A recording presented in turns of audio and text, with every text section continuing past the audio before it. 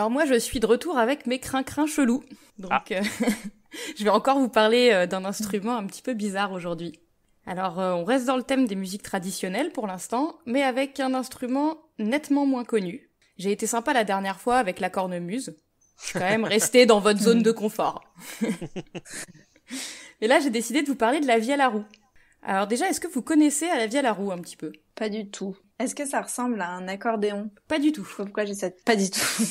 ça ressemble pas à un genre de violon Ouais, si, pour moi, c'est l'ancêtre du violon. Hein. On est plus proche du violon, effectivement. Normalement, c'est une, une, sorte de violon avec une espèce de anse que tu tournes, c'est ça On est d'accord? Il y a une roue. Il y a une roue, vu que ça s'appelle vielle à roue. Bien joué, Fanchon. voilà, bon, vos réponses ne m'étonnent pas tellement. Hein. On va pas se mentir. Euh, en fait, je joue moi-même de la vielle à roue depuis assez longtemps, et du coup, j'ai eu l'occasion de poser cette question à beaucoup de monde. Et euh, il y a quelques personnes qui connaissent, plus ou moins bien. Il y a beaucoup de personnes qui n'en ont jamais entendu parler, ou qui, comme vous, ont une vague idée de ce que ça pourrait être. Et puis, il y a tous ceux, un petit peu énervants, qui confondent la vielle avec l'orgue de barbarie. Alors, l'orgue de barbarie, c'est cette euh, espèce de machine-instrument bien pittoresque qu'on voit parfois dans les rues avec euh, une manivelle euh, et puis une, euh, une bande de carton trouée qui passe à l'intérieur. Ah oui, ça n'a rien à voir. Ouais. Euh, donc, bah, en fait, un orgue de barbarie, c'est juste une sorte de méga boîte à musique. Donc, euh, c'est pas vraiment un instrument, quoi. On peut pas modifier comme on veut les, les mélodies. Mm. Donc, ça, ça n'a rien à voir, mais souvent, il y a des gens qui confondent. en fait, parce que la, la seule, le, le, seul rapport entre les deux, c'est la manivelle. Le fait que sur les deux, il y a une manivelle. Alors une vielle à roue, c'est un principe quand même très différent. Hein. C'est un vrai instrument euh, qui, euh, qui est un instrument à cordes frottées, comme le violon. Bien joué Marc. Ouais. Mais euh, l'archet du violon est remplacé ici par une roue qui va frotter sur les cordes. Et cette roue, le musicien l'actionne avec sa main droite grâce à une manivelle, justement. Il y a aussi un clavier sur lequel la main gauche va jouer la mélodie. Donc c'est un instrument un peu composite, hein. y il y a pas mal de choses. Euh, ça a un aspect un peu particulier. En plus, euh, il y a des, des, formes différentes, donc je vous laisserai aller voir sur internet des photos de Vielle hein, si vous voulez voir à quoi ça ressemble. Parce que j'ai déjà essayé de décrire à quoi ça ressemblait, ça marche pas très bien. Alors ensuite, sur ce principe-là, là où sur les cornemuses on rajoutait des tuyaux, ici on rajoute des cordes. Donc on va toujours avoir des bourdons qui vont faire une note grave en continu. Et sur la vielle, il y a un de ces bourdons qui est un petit peu particulier, puisqu'il est associé au chien. Alors, pas l'animal, hein. Le chien, c'est une petite pièce de bois mobile qui va vibrer sur la caisse de résonance quand le musicien va donner un coup de poignet avec la manivelle. Ouais, dit comme ça, c'est pas évident à comprendre, je sais.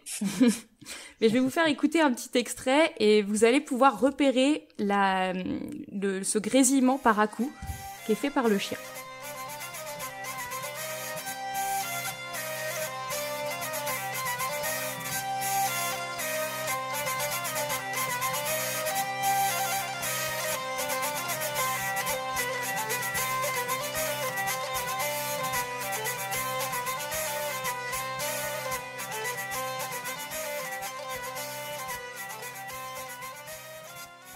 Vous avez euh, sans doute réussi à reconnaître euh, voilà ce grésillement euh, du chien. Alors voilà, la vielle, un instrument assez particulier déjà dans son fonctionnement.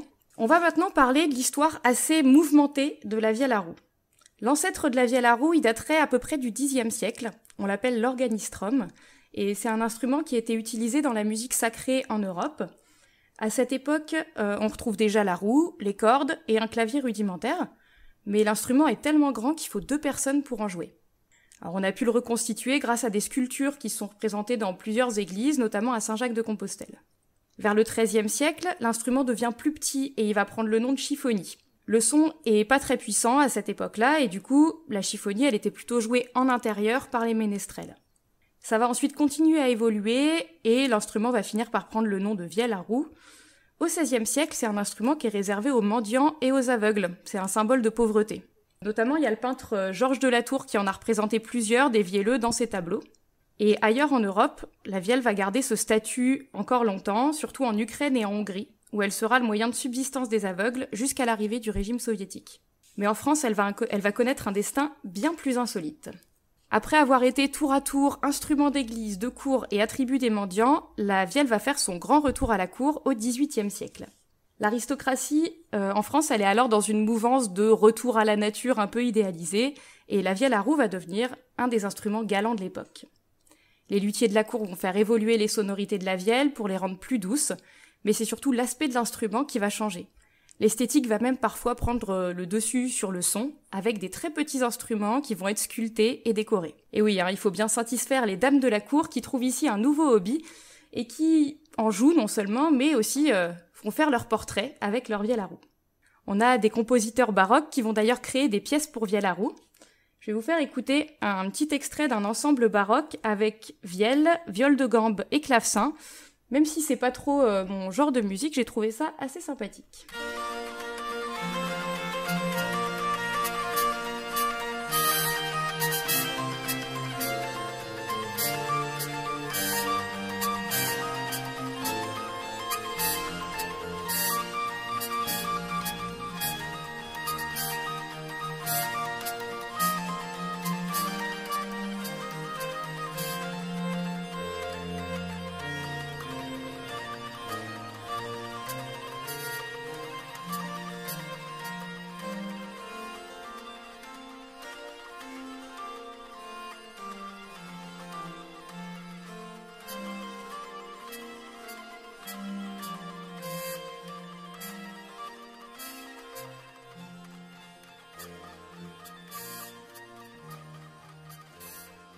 Alors euh, voilà pour euh, la période baroque. Mais après la Révolution, coup dur pour la vielle qui perd à nouveau ses lettres de noblesse et qui devient un accessoire de comédie au théâtre. Elle est alors principalement jouée dans les campagnes et dans les rues. D'ailleurs, si vous, si vous vous souvenez de l'épisode 3 de l'excellent podcast de Tout et de Rien, Fanchon nous avait fait écouter une chanson qui portait son nom. Oui, Et vrai. oui. Eh bien, à la même époque, il y a une pièce de théâtre nommée Fanchon la Vielleuse, qui a eu Ah, un immense Ça succès. quelque chose. Ouais, ça a eu un immense quoi. succès et en fait ça a peut-être aidé à la popularité de la chanson. C'est sans doute pour ça que t'en as Ah. entendu parler. Yes. bah. Donc voilà, c'était la petite anecdote euh, en passant. Tout est lié. Merci pour le clin d'œil. J'ai vu Fanchon la Vielleuse, j'ai pas pu m'en empêcher. bah oui, forcément. Alors au 19e siècle, la vielle à roue va connaître un pan majeur de son histoire, elle va devenir un instrument populaire et aux côtés de la cornemuse et du violon, elle va faire danser les campagnes de France. On retrouve alors des vielleux dans de nombreuses régions et des ateliers de lutherie vont s'implanter en Bresse, dans les Vosges, mais surtout dans l'Allier. Et c'est dans cette partie du centre France qu'on appelle aussi le Bourbonnais que vont être fabriquées pendant plus d'un siècle énormément de vielles qui seront exportées dans toute la France. Les vielles bourbonnaises sont plus larges, plus solides et plus sonores que les vielles baroques pour pouvoir hein, tout simplement être jouées en plein air.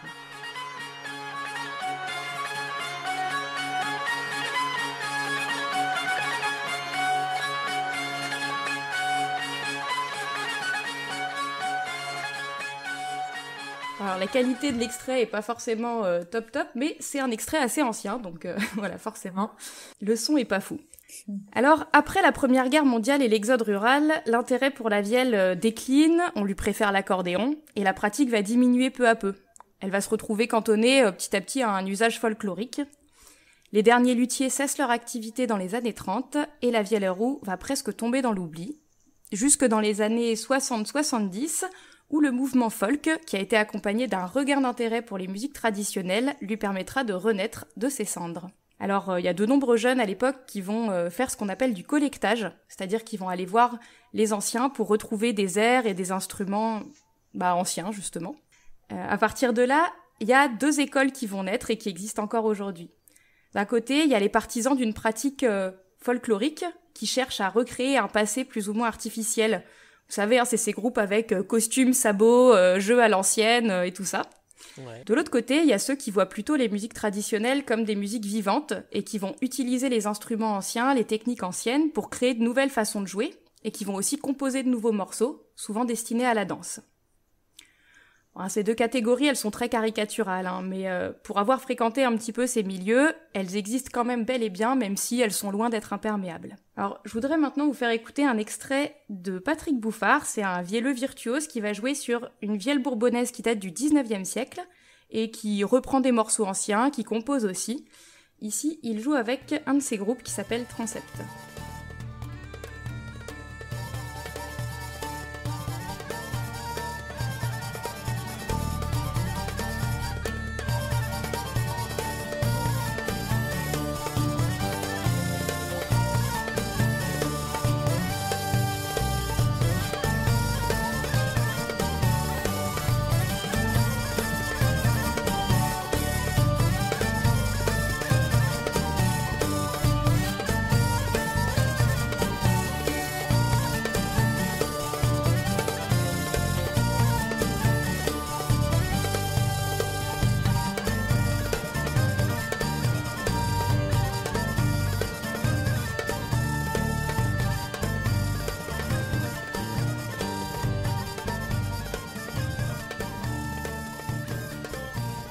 Voilà, alors là, sur euh, cet extrait, on peut entendre un petit côté aussi euh, légèrement oriental. Et euh, c'est un style qui va très bien, je trouve, avec la vielle à roue. C'est assez étonnant parce que c'est pas forcément euh, Ouais. de là que ça vient. Mais, Moi, j'aime euh, bien, c'est stylé. Ouais, moi j'aime beaucoup euh, ce groupe-là et je trouve que ça, voilà, ils ont des sonorités très intéressantes. Bon alors aujourd'hui, les balles continuent hein, avec de nombreux groupes plus ou moins modernes, énormément d'instruments différents, dont la vielle. Et il y a beaucoup de luthiers qui fabriquent à nouveau des vielles à roue.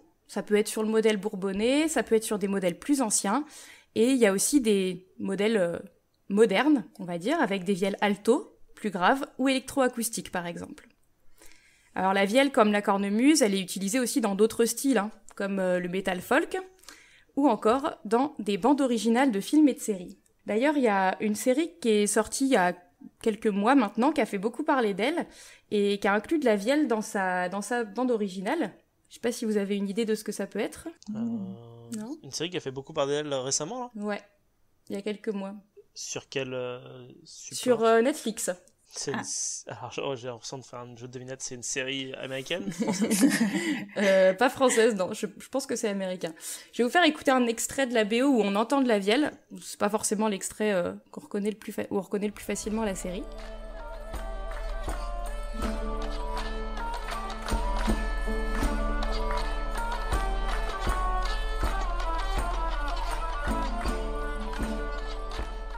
Après, j'ai un autre extrait, mais ça va être très très facile. L'autre extrait. L'autre extrait. Ouais, extrait. Vous allez m'en vouloir parce que vous l'avez plus dans la tête, euh, cette chanson. hein. Ah, mais c'est The Witcher Ah putain, c'est The Witcher, merde C'est The Witcher. Bah oui, bah oui, évidemment. Je l'avais tout petit peu.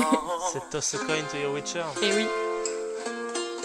When the White Wolf fought a silver-tongued devil. Et oui, c'est The Witcher. Parce que voilà, dès qu'il y a quelque chose qui fait un minimum euh, médiéval ou renaissance, on colle une cornemuse et une vielle dedans. Hein, c'est Ouais, classique. c'est classique. D'ailleurs, je sais pas si ça vous est euh, déjà arrivé d'aller en foire médiévale. Il y en a pas mal en France. Ouais. Mais euh, vous avez sans doute vu des vielles euh, parmi les groupes qui jouent dans la rue là-bas. Ouais, Eh ben, c'était, en fait, c'était très probablement soit des vielles bourbon- bourbonnaises, donc sur des modèles du 19e siècle, soit des vielles baroques. Mais certainement pas des vielles médiévales, hein, puisqu'elles ressemblaient absolument pas à ça à l'époque. Donc, euh, comme souvent dans les foires médiévales, hein, c'est un bel anachronisme. Oui, c'est ce que j'allais dire. Dans les foires médiévales, il y a des mecs habillés en mousquetaire et des mecs habillés en viking. Donc, du coup. Il y, a, il y a surtout des gens avec des oreilles d'elfe. Ouais, voilà, c'est ça. ça. des elfes, ouais, c'est n'importe quoi. Encore un petit exemple de folklore euh, un peu bizarre. Ouais, c'est ça. Alors, euh, je vais terminer cette euh, chronique avec trois artistes euh, que j'aime bien et qui expérimentent vraiment avec leur vielle. Et ensuite, si vous voulez qu'on discute un peu de tout ça, hein, pas de souci, on pourra. Avec plaisir. Alors actuellement, il y a des musiciens et des luthiers qui s'associent pour créer des nouveaux instruments, des nouvelles vielles, qui s'adaptent aux, sonori- aux sonorités que recherchent les vielleux et aussi aux possibilités qu'offre la musique électronique. Donc j'en ai choisi trois euh, que, que je vais vous faire écouter. Alors le premier c'est Grégory Jolivet qui joue en balle, donc encore des morceaux à danser hein, avec euh, différents groupes. Mais lui, il a des vielles alto et électro-acoustiques. Je vais vous faire écouter un petit extrait de son album solo.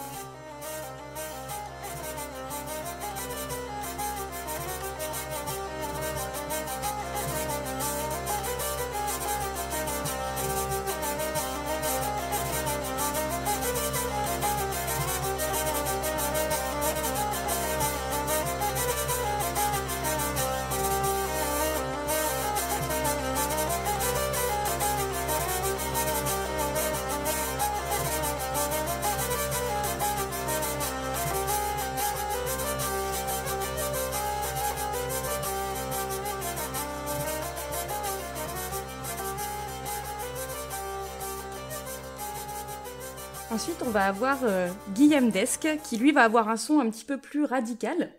Et euh, en fait, il crée des morceaux à la vielle, il est euh, en solo ou presque, et il utilise beaucoup d'effets électroniques.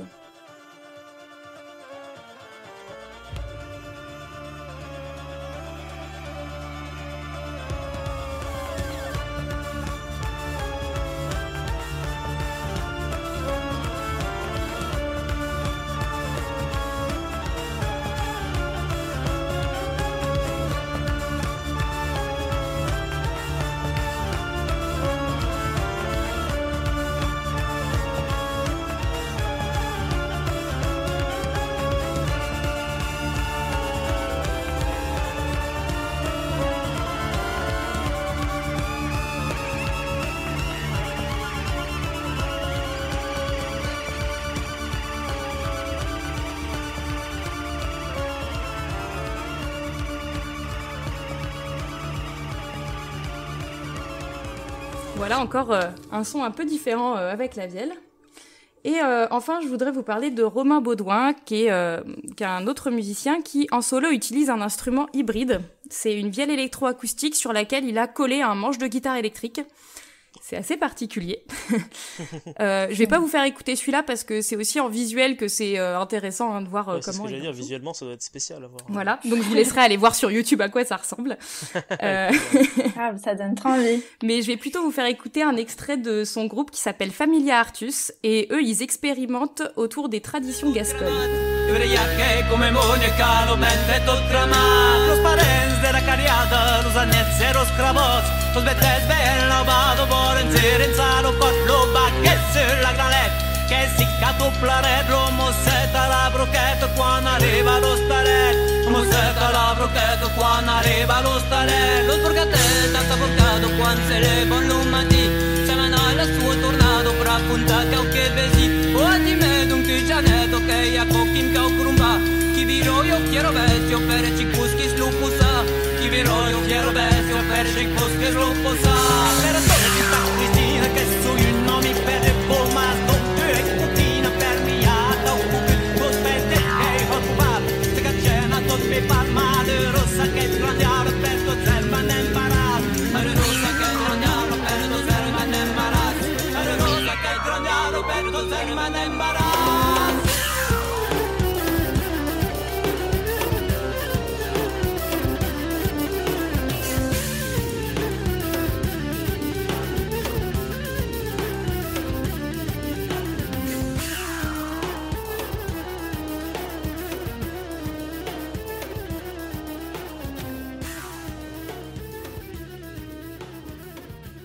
Voilà, j'espère que vous avez apprécié la découverte de cet instrument euh, très polyvalent, hein, comme vous aurez pu le remarquer, et que ça vous aura donné envie d'aller en écouter, que ce soit sur internet ou en balle. Et si vous allez en balle, vous verrez que la danse, c'est aussi un très bon moyen d'aimer encore plus toutes ces musiques-là. Voilà, bah maintenant si vous avez envie de discuter de ça, euh, y a pas de souci. Yes. Et, euh, carrément, carrément. Mais surtout, c'est en plus, c'est- toi, Jules, qui fait beaucoup de beaucoup de, de balles folk généralement, non Si je, me, je ne m'abuse. J'en fais une fois par an au roi de l'oiseau, mais non, t'en fais pas en dehors du roi de l'oiseau, du coup. Diras, c'est déjà pas mal d'en faire au roi de l'oiseau. C'est déjà bien. c'est trop sympa genre de danse. Ouais, puis l'ambiance est généralement euh, très bienveillante, euh, très sympathique aussi en balle, donc... euh, Ouais, carrément, je suis d'accord. Ouais, moi, ça me fait penser. euh, Enfin, j'ai jamais fait de bal, euh, mais euh, ça me fait penser. C'est quoi le film Le Grand Bal, je crois que ça s'appelle, non? Euh, oui, je l'ai pas vu, mais euh, ils, ont, ils ont fait un film sur euh, le Grand Bal de l'Europe, ouais. Ouais, c'est ça. Ouais, c'est ça que j'ai vu et c'est vraiment là où j'ai découvert euh, euh, cet univers-là et c'est vrai que ça donne vachement envie, quoi, comme ambiance. Eh bien, la proposition que j'ai fait à Marc euh, la dernière fois tient toujours. Je vous emmène en balle quand vous voulez, y a pas de souci. Ah, grave, je suis chaud. Les quelques balles que j'ai pu faire étaient assez, euh, c'était assez chouette effectivement comme, euh, comme ambiance. Alors moi c'est vrai que j'ai tendance à pas, à pas danser, mais par contre juste écouter, c'est toujours un, un plaisir en fait d'écouter ce genre de, de musique Mm. et de voir aussi l'effervescence qui est, qui est présente à ce niveau-là quoi. T'avais, t'avais dansé il y a deux ans. hein. J'avais, j'avais dansé, il y a, j'avais dansé effectivement il y a deux ans au Roi de l'Oiseau, parce que j'avais, j'avais promis aussi que je danserais. Et, euh, et en vrai, j'ai, j'ai vachement apprécié de danser au Roi de l'Oiseau. C'était vraiment, vraiment, d'autant plus que ça, c'est, c'est pas, c'est un, c'est, pas un bal quoi, c'est le bal, j'ai envie de dire. Enfin, vu le nombre de personnes qui, qui, qui sont présentes au Roi de l'Oiseau, c'est, des proportions qui sont, qui sont incroyables. Donc c'est d'autant plus, euh, d'autant plus fou. Euh, et j'en garde un, un excellent souvenir. Euh, mon, mon corps garde un souvenir moins bon, je pense. Mon corps garde un, un bon souvenir. Ouais, parce que c'est épuisant. Enfin, je me souviens toujours de la. Co- comment ça s'appelle cette danse? C'est euh, la, la rompe de la mort. Le crois. suicide. Ah, le branle suicide. Voilà, c'est ça. Le branle suicide. C'était horrible. C'était très drôle, mais c'était c'était horrible. Euh, Disons qu'il porte bien son nom. Oui, voilà, Ouais, c'est ça. C'est.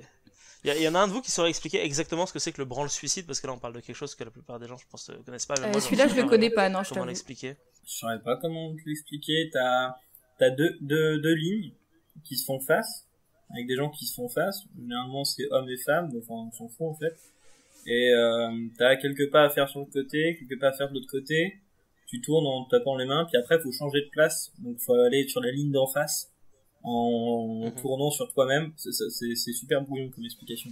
Mais tu vas sur la ligne d'en face, enfin, tu prends la place de l'autre. Et c'est là où du coup, euh, tu, tu, te, te- chacun, enfin, tout le monde se rentre dedans, quoi. Si tu fais pas gaffe. Et, euh, et en fait, c'est le, le, le truc particulier avec le branle suicide, c'est que le rythme, il va s'accélérer de plus en plus à la fin, ça devient super rapide.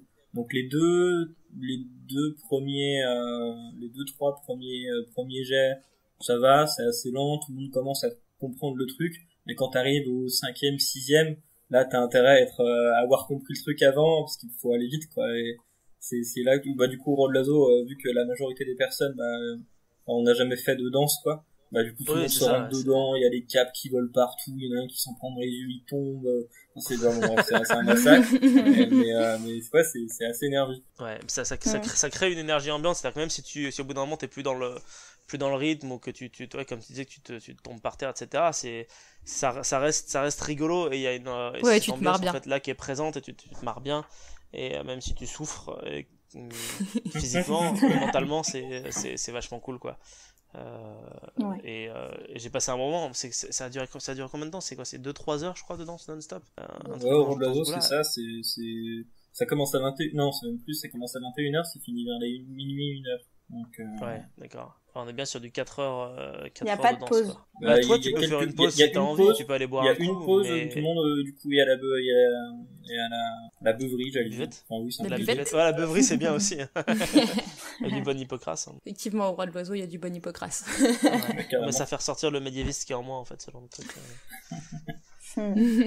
Mais oui, après, tu peux faire des pauses quand tu veux. Moi, le nombre de fois où. Enfin, je, je- ça dure 4, quand je dis ça dure 4, dure 4 heures, sur les 4 heures, euh, il y a plein de reprises où je me suis arrêté et j'ai fait non, c'est bon, je me repose, sinon je vais mourir, quoi. On avait fait un- une pause jeu médiéval avec Marc. On a fait une pause jeu, jeu médiéval, ouais, je me souviens. On avait joué à un jeu, un jeu assez, assez sympathique euh, dans le souvenir. Bah, en tout cas, du coup, euh, merci Lila pour cette euh, introduction à la, à la vielle. Bah, de Euh, rien. Et euh, toutes sortes de vielles, du coup, même les vielles, oui. vielles, vielles électro, électroacoustiques, du coup. Et Mm. est-ce qu'il y a des, est-ce qu'il y a des vielles, vielles euh, électriques tout court, genre vraiment comme il peut y avoir une mandoline électrique ou euh, ce genre de choses? Il y en a quelques-unes, mais c'est pas ce qui se fait le plus parce que du coup on perd l'intérêt de la caisse de résonance et enfin Ouais. voilà ça fonctionne vraiment différemment. Mais il y en a quelques-unes, il y a des, des, des luthiers qui font ça aussi. Après en voilà en électrique c'est surtout de l'électroacoustique qui se fait parce que c'est c'est plus pratique quoi. Tu peux jouer quand même euh, euh, sonorisé ou pas, euh, c'est c'est intéressant dans plus de situations quoi. Si ce que vous venez d'écouter vous a plu, eh bien n'hésitez pas en premier lieu à le partager parce que eh ben, le partage c'est quelque chose qui fait du bien à la fois aux, gens qui vous entourent mais surtout, je vais pas vous mentir, à nous. Si vous aimez partager des choses, eh bien le mieux c'est encore de, s'abonner euh, à la chaîne, de venir liker un petit peu la page Facebook parce que des choses à partager, vous en trouverez beaucoup sur ces deux emplacements. Alors surtout, n'hésitez absolument pas. Et puis si vous aimez écouter des gens parler un petit peu de, tout et de rien, sachez que eh bien, cette euh, chronique est extraite d'une émission qui est disponible euh, entièrement sur n'importe quelle plateforme de podcast et vous pouvez aller faire un petit tour dans la description pour aller voir un petit peu tout ça de plus près.